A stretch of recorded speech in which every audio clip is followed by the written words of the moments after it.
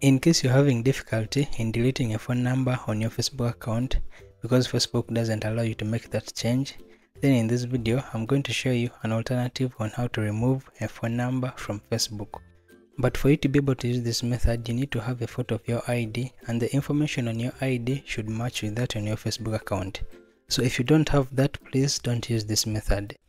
So to begin with, you're going to log into your Facebook account and while on your home page you're going to click on the three dash menu at the top right corner.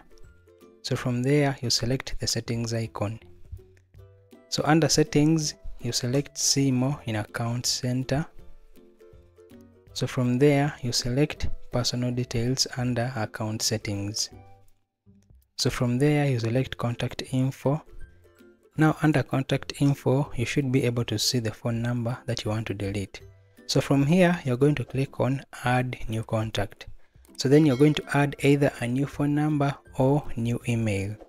So if you have a different phone number, then you can click on add mobile number. Then you go ahead and enter that mobile number. So then a verification code will be sent to that mobile number, which you can verify either via WhatsApp or via SMS. So once the code has been sent and then you enter and then verify. So from there, your phone number will be added successfully. And once that is done, an email will be sent to your primary email address notifying you of the new change. So you need to click on this wasn't me. So you long press on that and a URL will be generated and then you copy that URL. So after copying the URL, then you now go and open a different browser. For example, I'll be using Kiwi browser.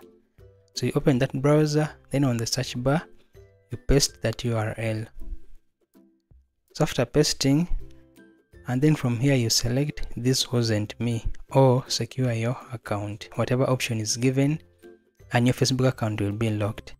So now from here you're going to go through the process of unlocking your facebook account and that's why in the beginning i mentioned you needed to have your national id in place. So if you have that then now you can proceed and click on get started. Then the first step is to confirm your identity and this is usually through submitting a national ID and once the identity is confirmed then you click next. So the next step now is to secure your login details. So from here you'll be shown the phone numbers or email addresses associated to your Facebook account. So then you can click on next so that you're able to select the ones that you'd like to delete and those that you'd like to retain. So now from here is where you're going to select the phone number to remove. So once you've selected then you click on remove. And then the next step is for you to confirm whether those are the phone numbers or phone number that you want to remove. And that is how you will successfully be able to remove a phone number from your facebook account and your account will be unlocked. So in case this doesn't work for you then you can try this other video. And also don't forget to subscribe turn on the notification bell for more updates. And i hope to see you in the next one